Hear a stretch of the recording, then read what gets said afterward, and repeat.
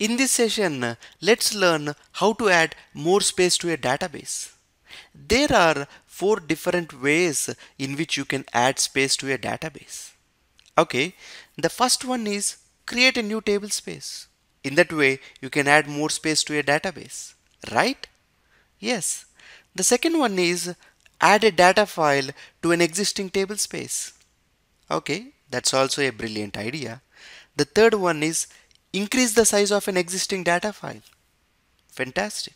And the final one which the DBAs prefer is instead of all this why don't we configure the data file with the parameter auto extend equal to on in such a way that whenever the Oracle database requires more space the Oracle database will automatically add the space to that table space okay?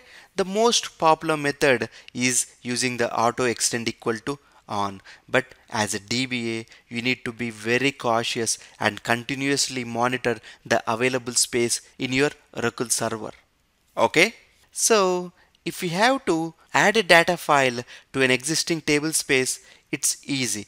Alter table space table space name. Here we are saying add data file and the data file name and then we are saying size 50 MB auto extend on every time increment by 512k and the maximum size is 250 MB. This is just like create table space except instead of create it is alter and here we add the extra keyword add. That's all. Okay. And if we have to resize the data file it's easy.